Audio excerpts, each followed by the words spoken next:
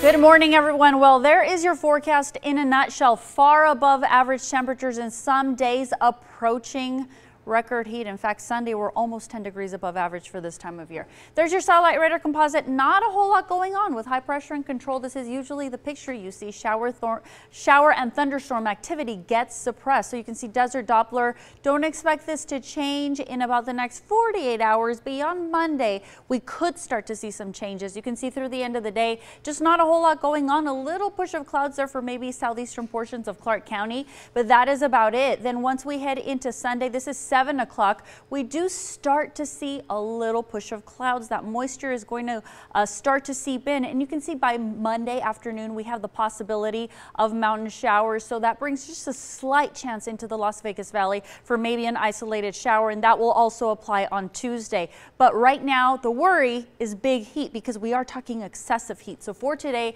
106 the high, the record 109. So still three degrees, not quite close. Sunday, though, certainly not the exception. 109 the forecast, and this is the record set back in 2001. So I wouldn't be surprised if we match, possibly exceed it for tomorrow. And then on Monday, we're still quite close, but we see the numbers come down just a little bit on that day. So enjoy these temperatures while you can, but it's already getting hot for this time of morning, 815. Uh, 86 degrees at McCarran, 84 Centennial Hills, Henderson at 83 degrees, and Green Valley also in the mid 80s. So here are the numbers for today 106 Again, we're far above average for this time of year. 101 in Summerlin, 107 Enterprise and Sloan coming in at 108 degrees. So if you're headed outside for today, uh, you'll be good. If you're going maybe for a hike in Mount Charleston, Red Rock, if you don't beat the afternoon heat, very, very questionable. I would be very careful in doing any hiking out there. And of course, Lake Mead will be very, very hot. Uh, 107 there in Lake Mead, 106 the high for today for central portions of the valley.